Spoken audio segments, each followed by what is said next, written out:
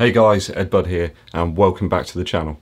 If you haven't already, please hit that subscribe button in the bottom right hand side corner so that you can be informed when new videos are launched. One of the most incredible, exciting things that can possibly happen in your life.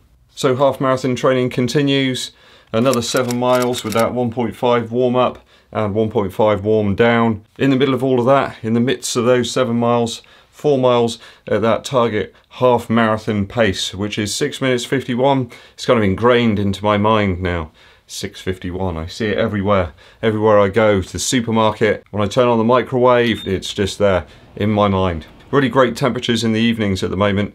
Things are tending to cool off uh, around about half past eight, nine o'clock, and it's a perfect opportunity um, also at the moment I'm having to wait until a certain Minecrafter and Roblox playing people are in the land of Nod and they're asleep and also my wife's come back so that I can actually go out running. So I managed to almost hit that magic pace. I think I was a little bit over 6.55, something like that. But I was almost there. It's starting to become a little bit easier. I'm starting to get it. It's starting to be a reachable thing now where, where I started this training block in fairness, that was quite a tough ask to get up to that pace. So really, really pleased with the progress I'm making. So there's a couple of steady run days after that, around about 7 minutes 30 pace. So I've been trying to get the miles in where I can. It's been a little bit more difficult with kind of work resuming a normal kind of schedule and also sort of running the gauntlet, childcare and all that kind of stuff.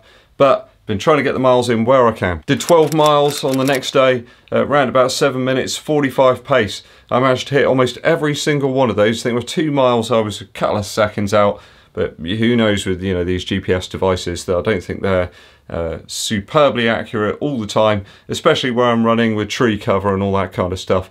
So I think I managed to pretty much hit all of those and I felt pretty good after that as well. So 12 miles at 7.45. So I think I can write off those few miles where I was over GPS issues. I think I was pretty much spot on. Took a rest day on the Monday as I was feeling really fatigued. It was a busy weekend, lots and lots of activities, keeping people busy, etc.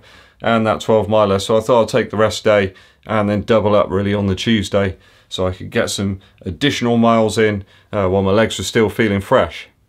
But, of course, the best laid plans sometimes don't happen and uh, really not feeling 100% right now in fairness. Got three miles in yesterday morning but really didn't feel good uh, when I when I got home. Uh, think I've got a bit of a head cold or something coming on and all I wanted to do was sleep. So always listening to the body, what does the body tell me? Needed to rest. So I'm gonna have to delay the uh, Tuesday session which was going to be 8 times 500 meter repeats with 200 meters recovery contained within about a 7 mile block so I'm going to have to try and fit that in at some point today. Need clones, that's what I need. I need a clone that can go out and do all the uh, do all the menial stuff, you know, the, the, the boring stuff. So if you're watching one of these videos and wondering what on earth I'm training for, well, my target is a sub 1 hour 30 half marathon at the Immortal Sport half marathon, which occurs on September the 29th. So this half marathon is predominantly flat, it's a couple of loops, I do believe, which does take in a number of the city of Salisbury's landmarks. It's quite a historic city, really. I think this is the half marathon's fourth year, so it's a relatively new half marathon.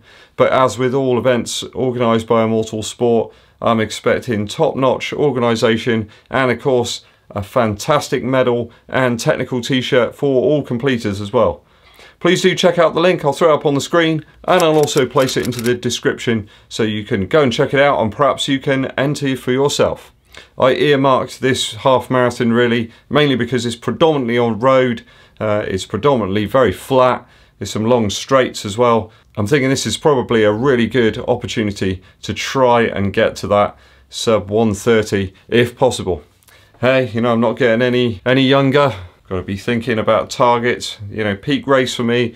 I'm really, really going to give it everything on this half marathon. I think there's almost zero elevation here, so don't really need to contend with hills at all. So it's all about keeping that speed very, very consistent and making sure I try and hit that target half marathon speed as often as I possibly can. Keep it there, see if I can hold it. Even if I can get close to 130, I'll be really, really pleased. If you've got any comments or questions about the Salisbury Half Marathon, please put those in the comments below. I'll do my best to answer those as quickly as I can. Do stay tuned to see how my training comes along over the next few weeks. Remember to hit that subscribe button and the bell for notifications.